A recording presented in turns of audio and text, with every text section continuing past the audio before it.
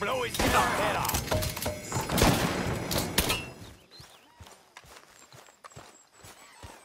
Morning, Arthur.